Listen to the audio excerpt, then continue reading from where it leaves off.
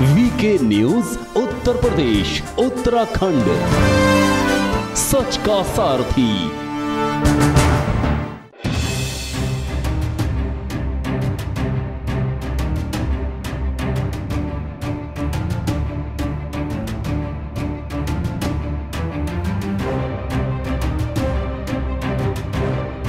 मजार पर चला पीला पंजा। पल भर में ध्वस्त कर दी गई अवैध मस्जिद। सालों से कब्जा जमाए बैठे थे कट्टरपंथी। ये तस्वीरें हैं प्रयागराज की, जहाँ अवैध मस्जिदों पर पीला पंजा चल रहा है तोड़ फोड़ मची हुई है। एक एक करके वो तमाम अवैध निर्माणों को नेस्त नाबूद कर रहे हैं। कमाल तो ये है कि इस बार योगी का बुलडोजर नहीं, सरकारी पंजा चला है, वो भी कोर्ट के आदेश पर। अब इस तस्वीर को देख लीजिए। प्रयागराज में मौजूद आज़ाद पार्क की है। प्रयागराज में अतिक्रमण हटाने को लेकर इलाहाबाद हाई कोर्ट द्वारा दिए आदेश पर अमल शुरू हो गया है। प्रशासन द्वारा आज़ाद पार्क में बने मस्जिद, मजार, मंदिर सहित कई अवैध ढांचों को ध्वस्त कर दिया गया। कार्रवाई हो रही है। ये पीआईएल दाखिल हुई है। उसमें माननीय उच्च न्यायालय के आदेश के अनुक्रम में। ये अनुपालन में कार्रवाइयाँ हो रही हैं।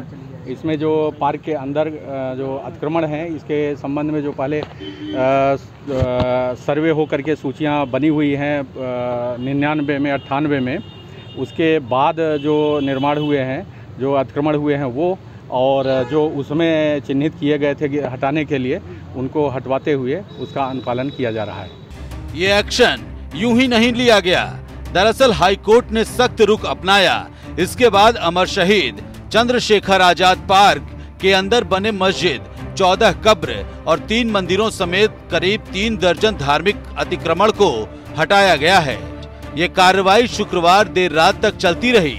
यहाँ से मलबा हटाकर पौधे लगा दिए गए हैं। हाईकोर्ट ने प्रयागराज में मौजूद चंद्रशेखर आज़ाद पार्क में 1975 के बाद हुए अवैध निर्माण हटाने का आदेश दिया था। कोर्ट ने इसके कार्रवाई संबंधित सरकार की रिपोर्ट पर असंतोष जताया था और तल्ख टिप्पणी की थी। और इसी साल जुलाई में इलाहाबाद हाई कोर्ट में प्रयागराज ज़िले के चर्चित चंद्रशेखर आज़ाद पार्क से धार्मिक अतिक्रमण हटाने की मांग करते हुए याचिका जितेंद्र सिंह की ओर से दाखिल की गई थी।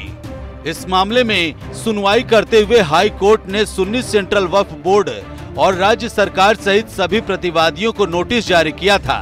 इलाहाबाद हाई कोर्ट ने कहा था कि इसी तरह का आदेश उन्नीस सौ सतासी में अवैध अतिक्रमण को लेकर पारित किया गया था।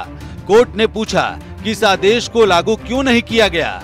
खैर, अब प्रशासन ने पार्क में 1975 के बाद बनाए गए सभी अवैध निर्माणों को ध्वस्त कर दिया है। जो कंपनी बाग की मस्जिद का या मजार शरीफ का मामला है, ये अठारह सौ सत्तावन के पहले के तकरीबन पहले की मस्जिद है ये। और यहाँ शुरू से ही नमाज़ होती आई है, पढ़ते हैं लोग। और तराबी जो रमज़ान शरीफ में होती है, हमेशा से पढ़ते आए हैं। और इसके पेपर जो है, ये देखिए आर्टिकल है, ये 1922 का है पेपर ये। ये पेपर में 1922 का आर्टिकल ये छपा हुआ है।